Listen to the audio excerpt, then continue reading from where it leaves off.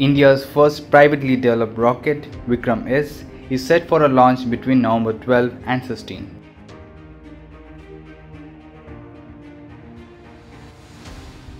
Rocket is developed by the Hyderabad-based space startup Skyroot Aerospace.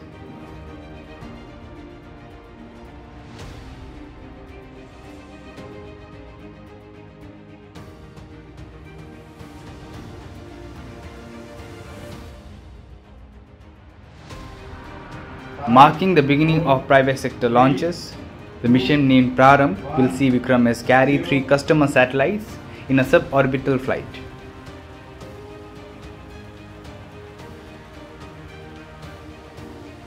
The mission will help the company test its systems in the space. The startup company is designing three Vikram rockets that will use various solid and cryogenic fuels to carry between 290 kg and 560 kg payloads to sun synchronous polar orbits.